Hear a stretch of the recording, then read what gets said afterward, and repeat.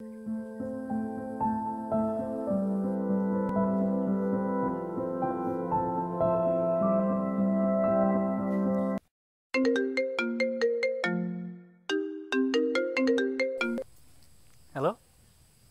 ए म आइसकेँ नजिक आइसकेँ म।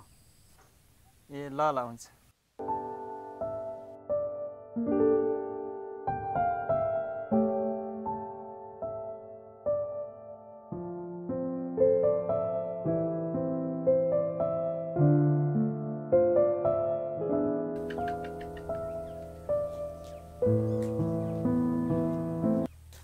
छ हौ।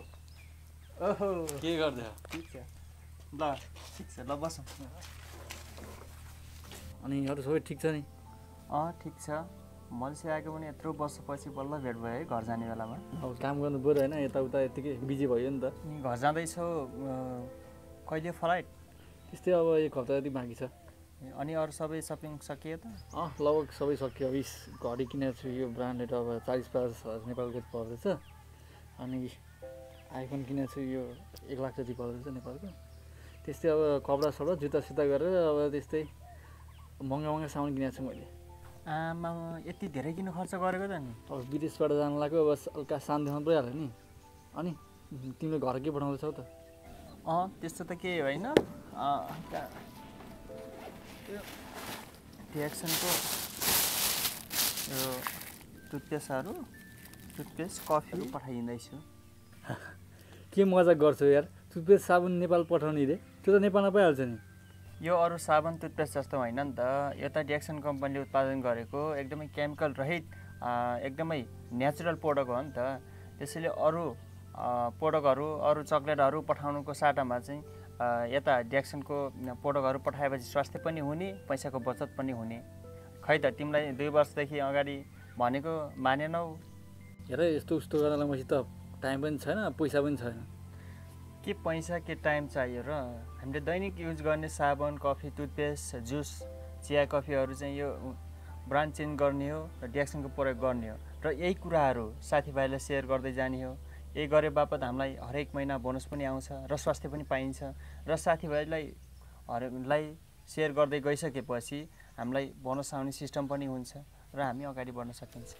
ल हेर दैनिक प्रयोग गर्ने सामानहरू युज गर्दैमा मैले स्वास्थ्य पनि पाइरहेको छु र साथीभाइलाई सेयर गरे बापत मैले यी मैले आफूले कम्पनीमा कमाउने सेलेरीभन्दा योबाट धेरै पैसा आइरहेको छ बोनसहरू आइरहेको छ हरेक महिना।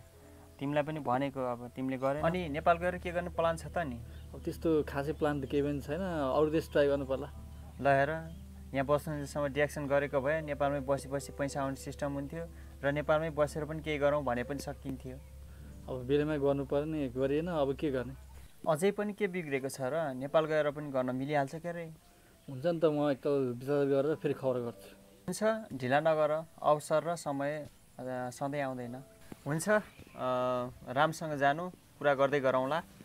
यो सामान छ यो सामान लगिदिनु। है? म पछि कन्ट्याक्ट गर्दै गरौँ ल होइन अहिले लाग्यो।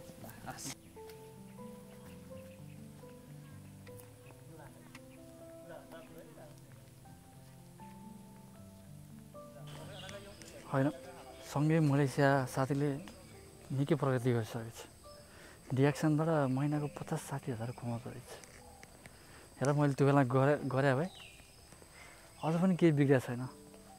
म त्यसलाई साँझ फोन गर्छु। म जसरी नै गर्छु भन्छु म त्यसलाई।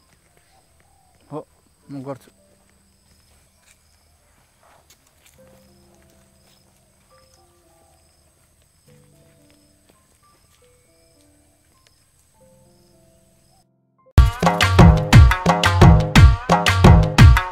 रुपै मोहानी नारायण रुपै मोहानी।